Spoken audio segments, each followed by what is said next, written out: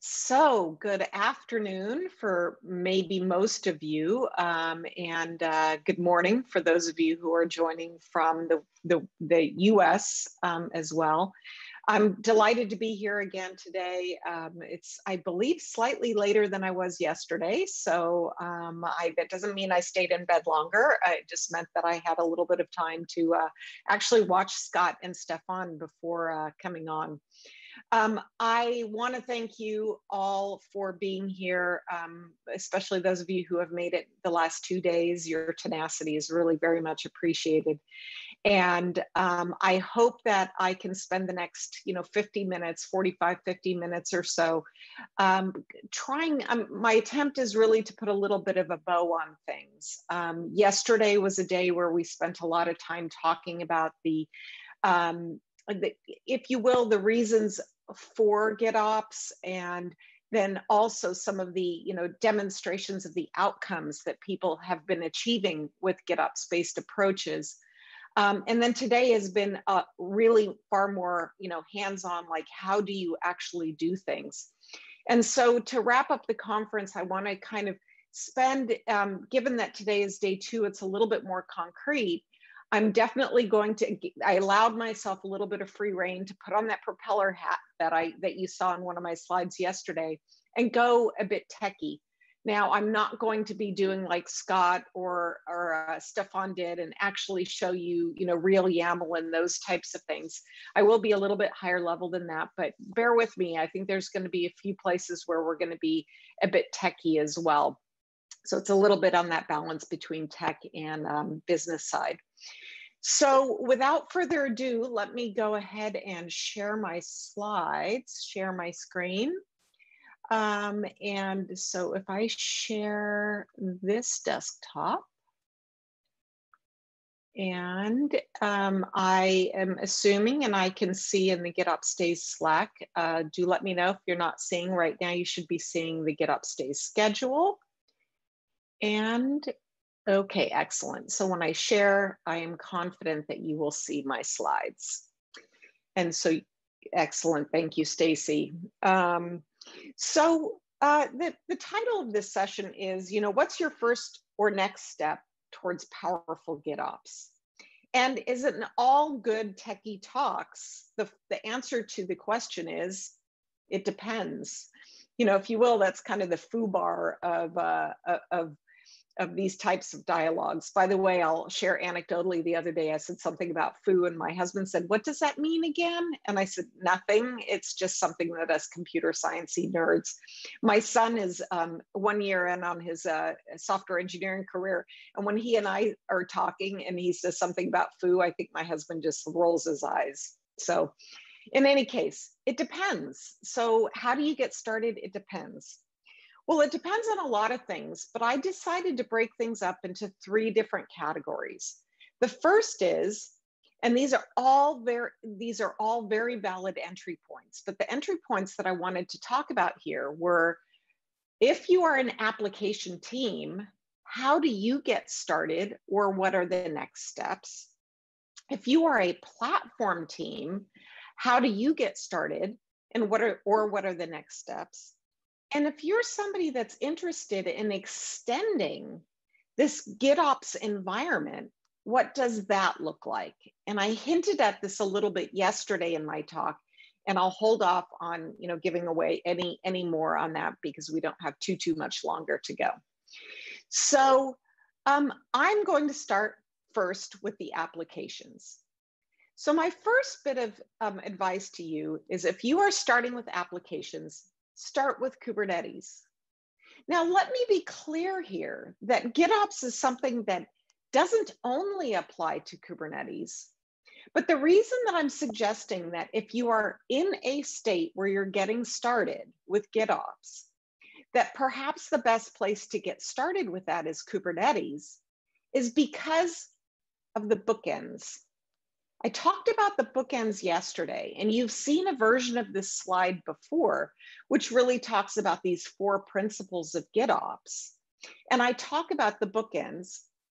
And I want to emphasize again that the reason I'm suggesting you start with Kubernetes in the application space is because you get these things for free from Kubernetes. If you are aiming to do something outside of the Kubernetes space, then you have to come up with a way of dealing with declarative configuration and you need a way of implementing software agents and having those software agents running. Remember that reconciliation pattern. We talked about GitOps patterns yesterday. And that reconciliation pattern is so central to cloud native operations. And that's really what GitOps is about, is these modern cloud native operations. So if you start with Kubernetes, you get the bookends for free. We know that we are declaring our application configuration, our manifests in YAML. Um, so we have declarative configuration, and we know we have the delivery controllers that are going to keep that declarative configuration in line with the actual state of the system. Okay, so you get that for free. Now, of course, that means that when you're taking and you're applying the GitOps solution, you need to add the things that are in the middle of this screen. And that's what we're going to do. I'm going to talk a little bit about how you get started or make progress on implementing those other two elements that are going to build out this slide. Now, this is going to harken back on some of the things that you heard Stefan talk about, you heard Scott talk about, you heard Lee talk about all of those things that you've been hearing all throughout today, kind of on a, in a concrete sense. I'm this is think of this as kind of a reminder or maybe a, a way of stitching all those things together. So I was just watching Stefan myself, and he was showing you in his demo how he instantiated, he, he cloned a Git repository, and then he had in there already a folder structure around things. Well, that's the first place that we're going to start is we're going to start on, okay, get the Kubernetes thing for free. Let's add the versioned immutable store and configure it properly. So what that means is that I want to really look at, okay, I've got the runtime environment. I know I'm going to have the declarative configuration stored in Git. What does that look like?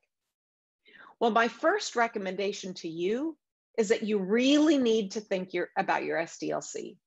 You need to think about that software delivery lifecycle because that is going to place requirements or it's going to help you design all of this stuff.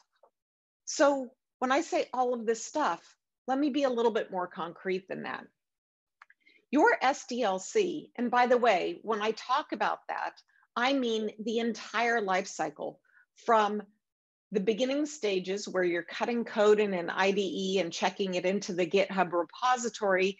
And then as you have seen throughout the couple of days, there's a CI system that is generating the container images for you um, and those types of things all the way out into your production environment. But to get to production, you also have some other environments. You have a development environment in which you can start to test the basic configuration and making sure that, for example, your applications are truly stateless so that you have multiple instances. You're testing things like having an instance go away and the application is still up and running those are all part of your kind of, if you will, unit tests. Um, and I say unit tests, actually, I'm putting kind of quotes up in the air, that those are kind of your unit tests. You have to include that as a part of your developer testing. And then you also have maybe a user accept, acceptance testing environment, and then you have prod. So when I talk about the SDLC, I'm talking about that entire gambit. How do we support the early parts of the software development lifecycle, as well as all the way out to production. So when we're thinking, considering those, the first thing I want you to do is think about your runtime topology. Now, you might already be here. And what I'm talking about here is, am I using namespaces? Am I using separate clusters? How am I configuring RBAC? And you might already have all of this wired up. When I'm out talking to customers, they're usually fairly far along not always, but they they have started to think about these things. They understand, for example, the limitations of namespaces that it really represents more of a soft multi-tenancy than a hard multi-tenancy.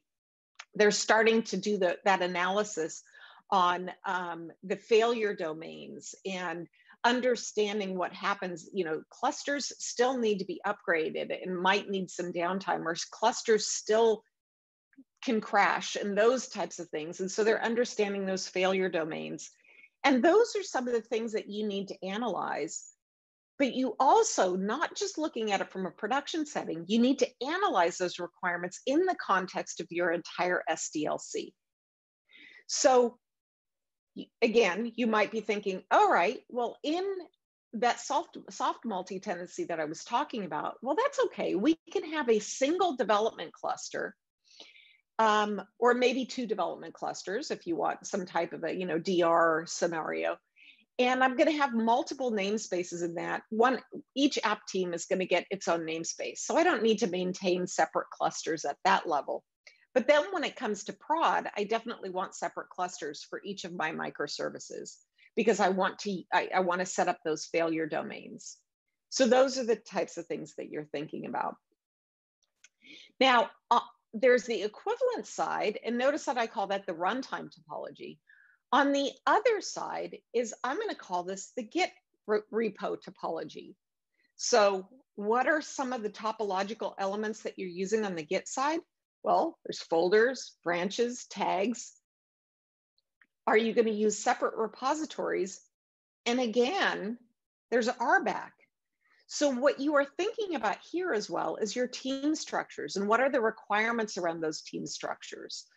Where do you need to set up separation of separation of duties? What you know different teams that you do you have? And so you see you can see here that there's RBAC on the right hand side, there's RBAC on the left hand side. So really you're thinking about both of those things. And again, you're thinking about your entire SDLC. I've got dev, I've got user acceptance testing, I've got production. You need to be thinking about that. And then there is this. I've also got, it's not just the Git repo, I've got external stores. So I've got my image repository. We've been talking about that today. Yesterday, Luke Marsden, in his talk around ML ops, pointed out that a, a very common practice in the machine learning space is to have containers, images, you know, container images, encapsulate the, you know, kind of the runtime environment, but then have the models for those um, runtime environments for the for the machine learning applications, have those models be loaded in from an S3 repository. So you heard me, this is the category, if you remember, this is about setting up your versioned immutable store. GitHub, we know, is a versioned immutable store. But when I start thinking about things like the image repository or an S3 bucket, wait a minute, is that a versioned immutable store? So I'm not going to spend a long time talking about it, but I do want to highlight just a few things. Again, if you didn't hear me highlight this yesterday, in the earlier GitOps days this year in May, I did a longer talk. I did it what was called an overview and deep dive, a little bit of attention there. So, you know, a little high level, but also a little bit of a deep dive. I definitely did more of a deep dive on this topic of Git semantics. And I mentioned it yesterday and I talked about the fact that there are certain things that are absolutely essential to GitOps that include things like versioning, having a version history that is ordered in time, that it be immutable, and that that facilitates things like repeatability. It provides safety nets so that you can do rollbacks or actually more like a roll forward by simply accessing an earlier point in time and you have the entire representation of things that were running at that time. So those are very important Git semantics. And on the left-hand side of the screen here, you see a Git log that I just you know, grabbed from the terminal. And you can see some of those elements that I just talked about, those Git semantics. You can see that I have versioning embedded in. Oops, sorry, that's not clickable. I have versioning baked in. So these commit SHAs, that is a versioning mechanism. Is it, it is a way of identifying a version where somebody can't accidentally go and replace that version with something else. And then you end up with a system that you can't recover. Because it's a SHA, if you so much as insert a space somewhere, even an inconsequential change, you're going to get a different SHA. So that's what I mean by versioning deeply baked into this implementation of Git. You've got time ordering here. So you can see the time ordering that is set up here. And you can see that at every single one of these nodes, I have an entire representation of the state of the system. So going back to the question that I was posing, which is, well, if part of my runtime state is stored outside of Git in an image repository in an S3 bucket, am I compromising that requirement about versioned immutable store? And the answer is that you may have to implement, you have to think about implementing some of that into your entire system. So, you, for example, when you're coming up with how you're going to put things into your image repository, and that's something that you're generally doing with your CI system. As a part of your CI system, you have to build into that CI system a mechanism that implements versioning in such a way that you can avoid that situation where somebody inadvertently or intentionally replaces a version without replacing the version number. So that's something you need to tool. And for goodness sake, you've heard it from multiple people already. Don't ever use latest as your tag in your image repository. Now, that really is getting to the second bullet here, which is okay, what you're effectively doing there is you are effectively figuring out what your keys, your database keys are for this store. Now, the third one here is really interesting, which is time ordering. So does that mean that I need to have an image repository that's time ordered? Does it mean that my S3 buckets, but wait a minute, S3 buckets don't apply this version thing and what about this time ordering? They don't really have a historical thing and all of that stuff. How do i do that? Well there's an interesting element here and again forgive me for getting a little computer science here but what we're talking about here is by reference. The whole thing we're talking about here is are we doing things by reference or are we doing things by value? By value would mean that i'm storing my images in git it would mean that I'm storing my machine learning models in Git or the parameters in Git. And we, we aren't always going to do that. But if you do it by reference, you do have to ensure the versioning thing that I was just talking about. But now you can, in fact, use the time ordering. You can use Git as the time ordering thing and just have it have references to the things that are stored in S3 or on image repositories or in some other external repository. So it's the combination of Git and these external repositories where you can start to achieve these Git semantics.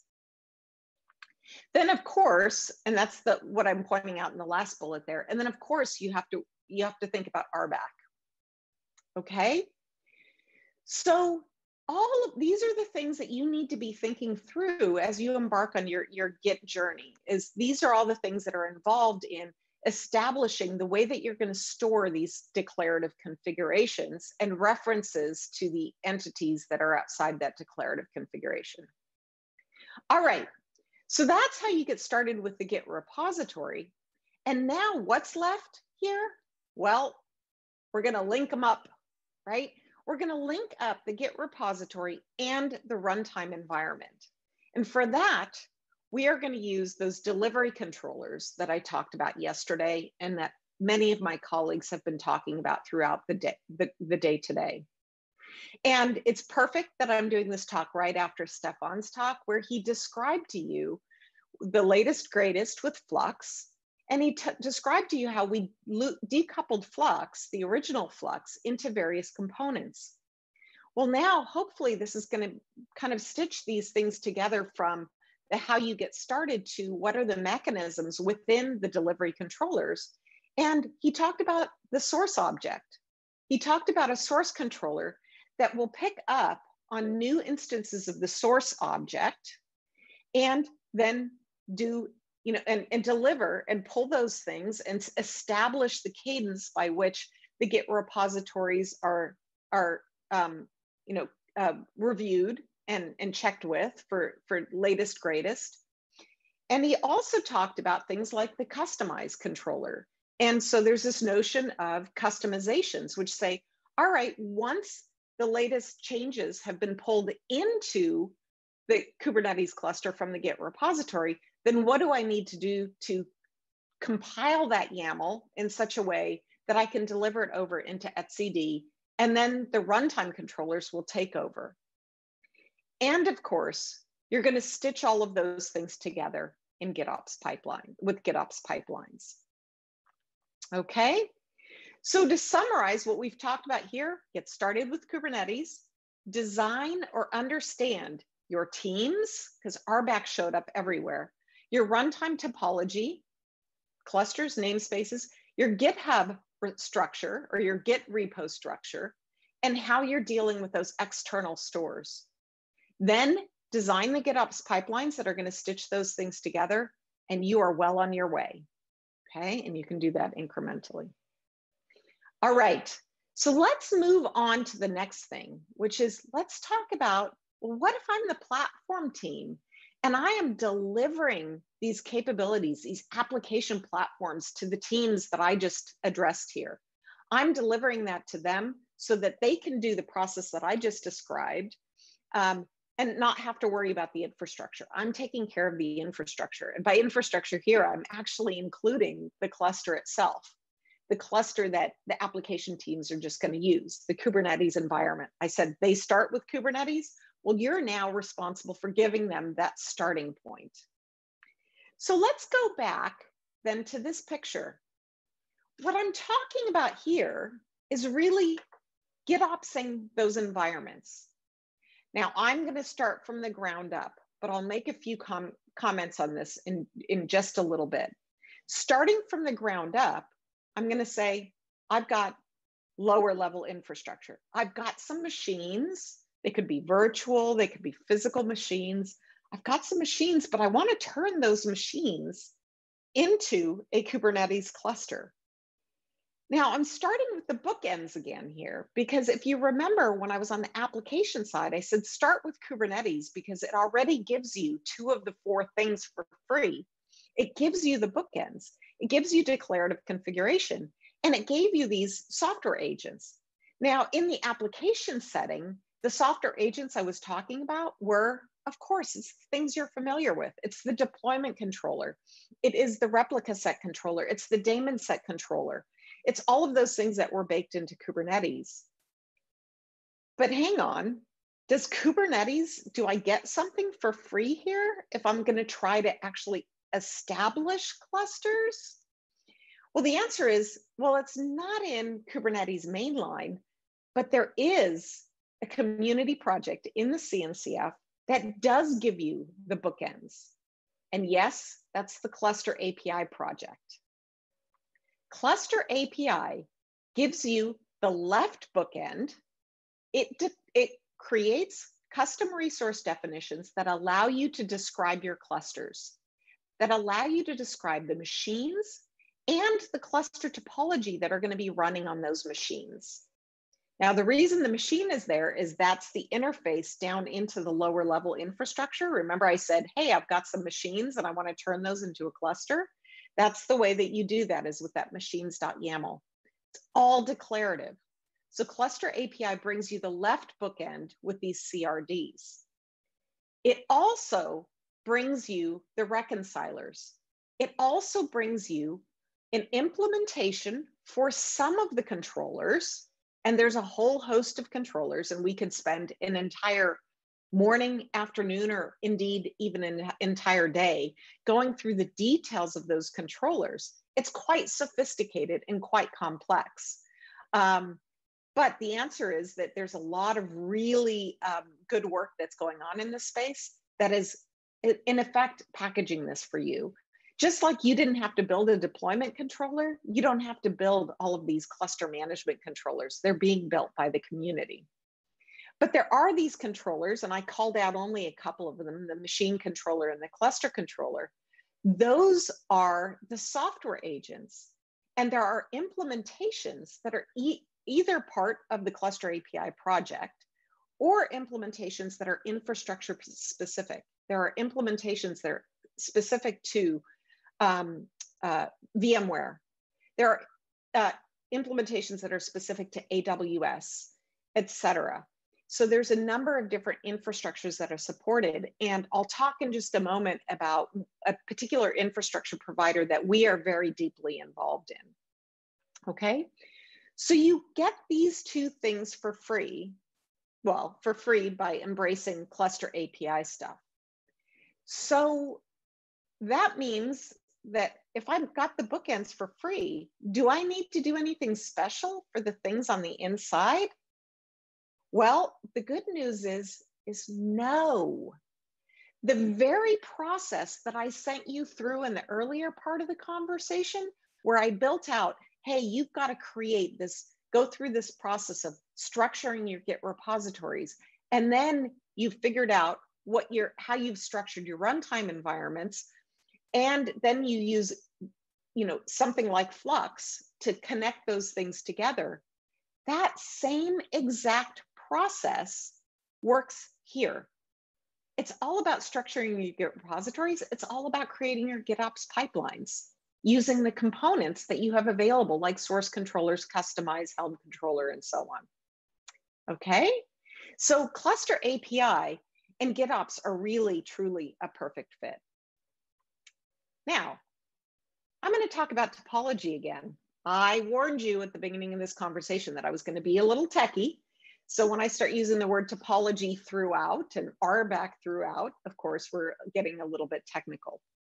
So let's think about that topology because there's something that's really interesting about the topological elements here as well, especially for those of you who might be newer to the cluster API project. So if we go back to this picture, I said, okay, we've got declarative configuration in this machine.yaml and this cluster.yaml, and we've got these controllers that have been installed into the runtime. I'm emphasizing that and I'm pausing here for dramatic effect because I'm going to come back to this point in just a moment. So those are the key elements. So let's kind of lump those things over here. Now, if I need, if I have declarative configuration, and I've got some agents that are running, well, I need a place, first of all, to store that declarative configuration. Hey, how about this? How about I store that declarative config configuration in etcd? Okay, well, that makes sense. Declarative configuration has been proven. It works well in etcd. And I, I need these controllers. I need these, these reconciliation loops. And of course, I have a great runtime for running reconciliation loops and that's Kubernetes, right? So those things right here are naturally fit into a Kubernetes setting. I'm going to say, I'm going, going to make that first assertion to say, okay, well, this machinery, this engine is going to be a Kubernetes cluster. The thing that's going to allow me to do cluster management is a Kubernetes cluster itself. And I'm going to call that the management cluster. Now that's foreshadowing the diagram that I'm going to build out here. If I then have that management cluster, then how can I use that management cluster to establish additional clusters? Well, it's actually quite simple. What I'm going to do is I'm going to, in a uh, GitHub repository, add a machine .yaml and a cluster.yaml. That is my declaration that I need a new cluster. Those reconcilers are going to recognize that. Oh, actually, sorry. The reconcilers don't see that yet because it's in a GitHub repository, right? Something has to deliver those things from the GitHub repository into the runtime environment. And that, of course, are your GitOps pipelines powered by Flux, for example, at the background. So source controller, kustomize controller, let's say. Once that delivery happens, then those reconcilers will say, aha, I see you want a new cluster. let me look out in the real world. I don't see that cluster there. And so I'm going to go ahead and create that cluster for you. Okay. You want another cluster? You create another machine.yaml and another cluster.yaml, and you create another cluster and another. Okay. So this is one topology that you can have where you have a management cluster. And now the reconcilers running in the management cluster are the ones that are responsible for taking care of each of the target clusters on the right-hand side. Now, that's only one topology, and it's a relatively simple and easy to understand topology, right? I hope at least laid out the way it is here. The mechanics of doing all of this, well, the good news is that we're writing automation for this, and you just heard me describe that automation. To a large extent, that automation is, um, uh, is what we're doing with these GitOps pipelines, et cetera. But there's another topology that I want to uh, suggest to you. So I'm going to make a little bit of room here and say, well, wait a minute, hang on. The target cluster is itself the Kubernetes cluster. So, hmm, what you might be thinking is that the left-hand side of this picture and the right-hand side of this picture bear some similarities. Can I just do this? can I have those very things that are in the management cluster running in the Kubernetes cluster that, that it's responsible for? And so what you're starting to see here is hints of what we've been talking about. Remember one of the GitOps patterns that I talked about yesterday was a pull model? And that previous topology sure looked pretty pushish. And so indeed, that's what we're hinting at here. So yeah, so the first answer is yes, what I'm showing you here on the screen, absolutely doable, absolutely running. It, this isn't hypothetical. This does work.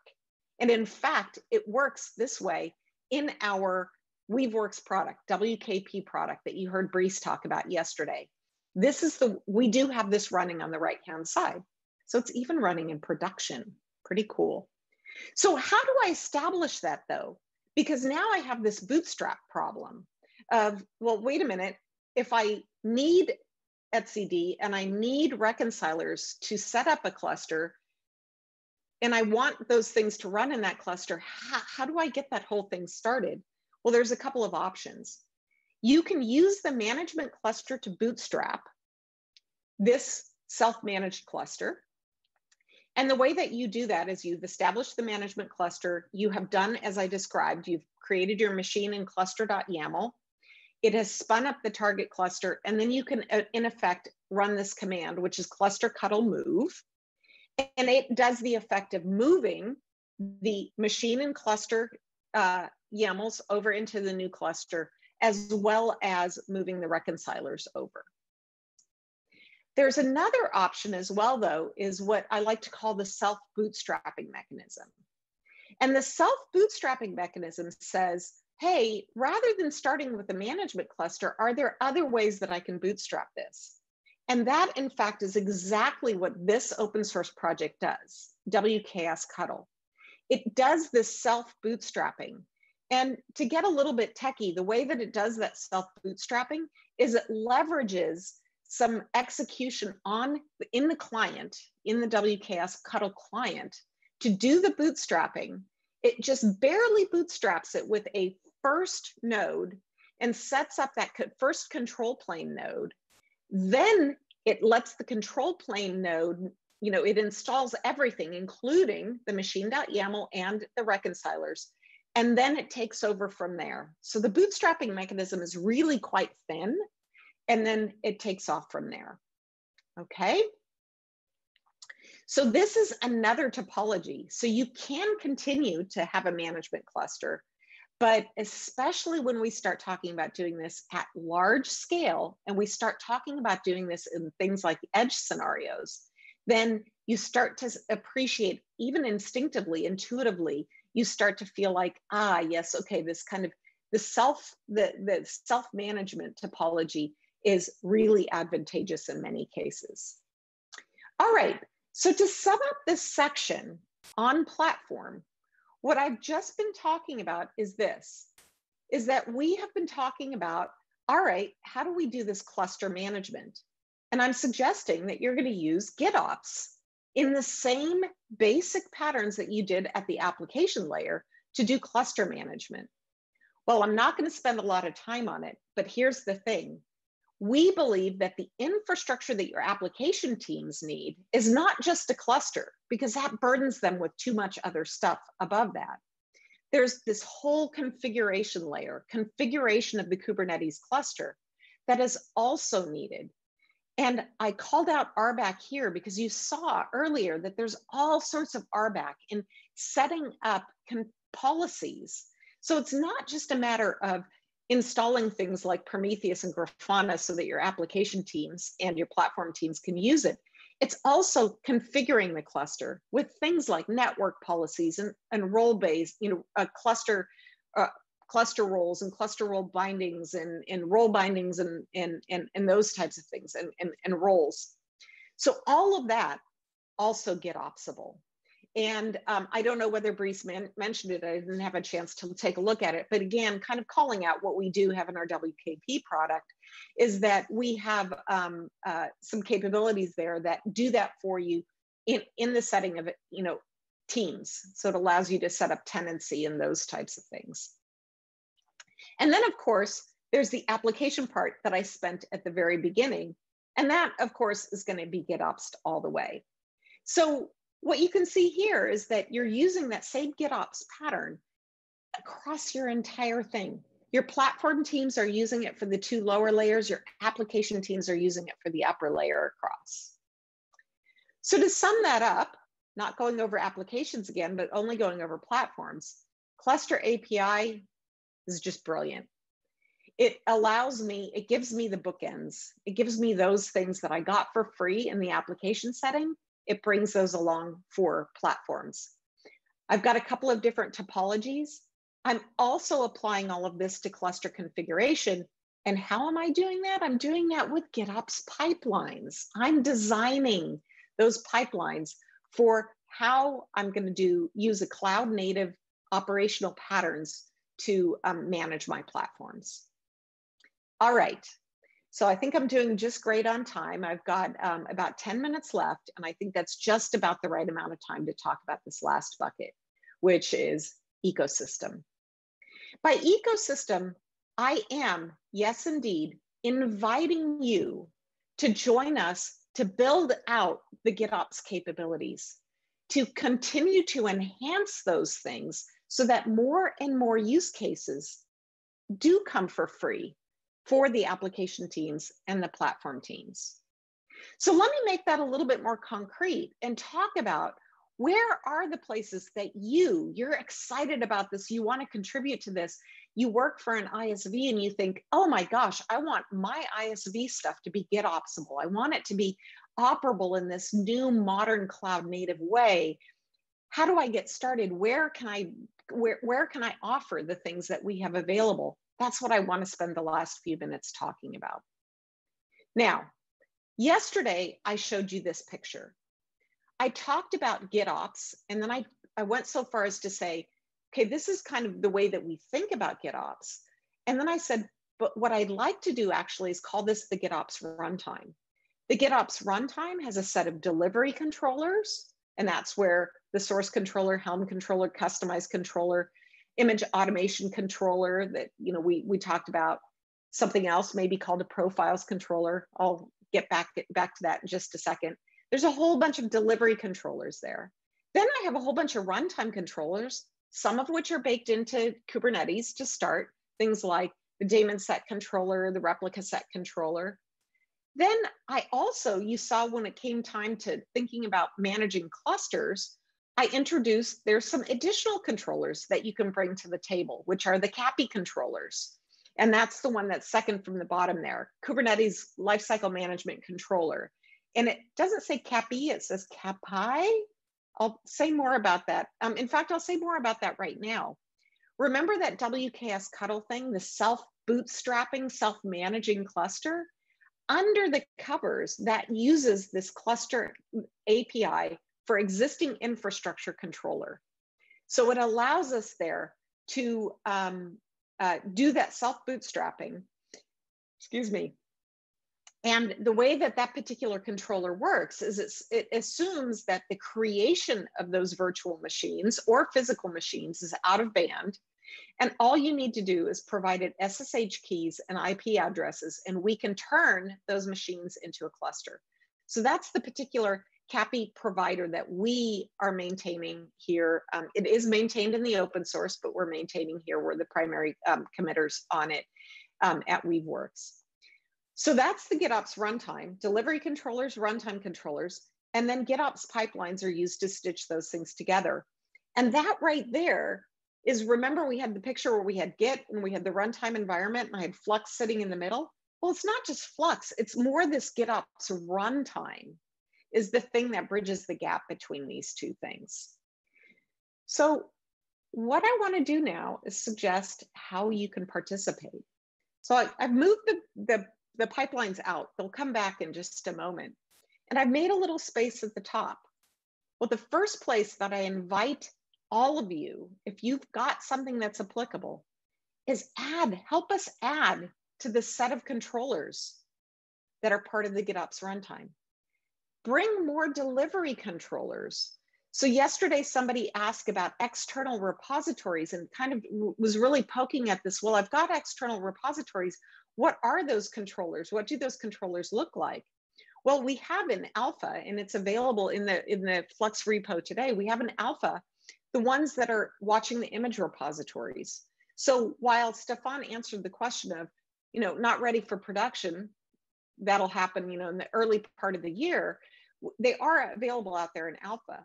But do you have are you part of an organization that has other repositories that has some kind of storage whether it be you know uh, an s3 compliant storage or something like that and you want to bring a delivery controller to bear? Um, we do have that by the way. Do we do have the s3 that's part of the source controllers.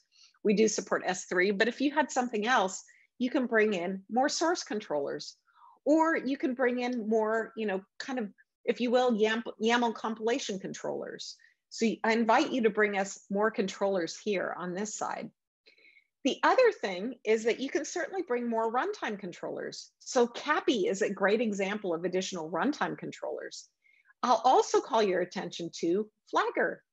Flagger is a runtime controller that is brought into this entire GitOps, you know, uh, vision, if you will and we it is a it's a runtime controller that is very applicable in the GitOps space. So that's the first place that you can come and um, participate. Now, the next thing is, I'm going to move that off to the side, and make a little bit more space on my slide, is that you can, of course, use Flux to then once you've you can extend the set of controllers and then using that extended set of controllers and the existing controllers you can stitch you can actually create pipelines. And those pipelines now are a part of how you can extend kind of turnkey capabilities. So there are you know for example it, it may be a little bit nuanced but when stefan runs the flux bootstrap command what he is doing is he's not only installing a set of controllers, he's also installing a GitOps pipeline that is responsible for the management and automatic upgrade of those very controllers that he's installed. So he is also installing and maintaining a set of pipelines. So you, if you want to do this either internally for your organization or you want to do it more broadly um, for the industry, you can tool up these pipelines that can then be used by a host of people to generate value very quickly so that they don't have to build the pipelines themselves. So there's another place that you can contribute into this ecosystem. And then finally, okay, if I'm building controllers and I'm building these pipelines, what's my delivery mechanism into that? And that's where we have been talking about this concept of profiles. And profiles, what they do is they are a GitOps native or a GitOpsable packaging mechanism. that allow you to install things into your runtime that then offer the next set of capabilities to your users.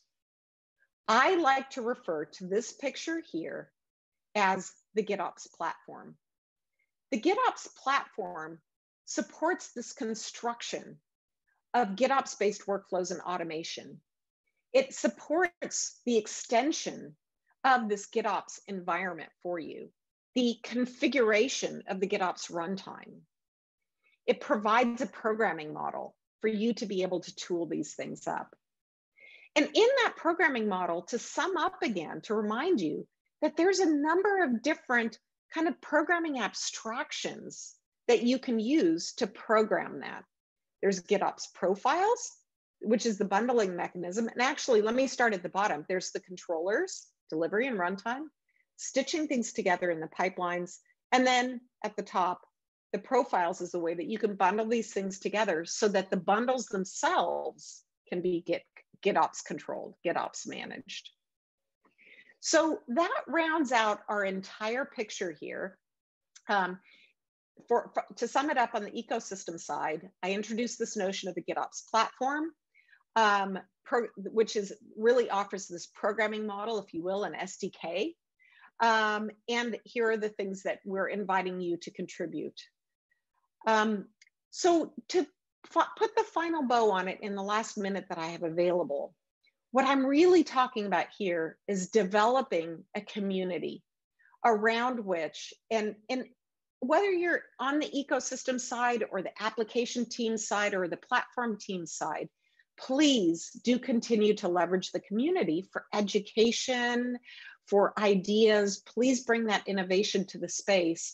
That's really one of the fundamental things that we are aiming for with these GitOps days is for that type of sharing. And of course, um, as the CTO of Weaveworks, I would be remiss if I didn't say it. Of course, Weaveworks can help you with this when it, either with education or with with with product um, and and I promise I'm not going to make this whole thing a you know an advertisement. I hope that the entire presentation, my intent was really to help you kind of create a mental model for how to think about these things. But again, we certainly can help you in a number of different ways, including through um, our, our community involvement. And with that, I will thank you for your attention, um, both for the last hour as well as the last two days. Um, and I think that I'm pretty much wrapped up right on time.